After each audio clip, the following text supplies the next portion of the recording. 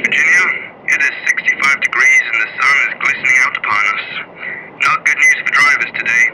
The State Department of Transportation has announced mere moments ago that prices have hiked once more for all coolant. Up by 13% again, I'm afraid, folks. More news follows on the hour.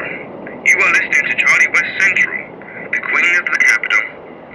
Now it's time for a song. Schools go out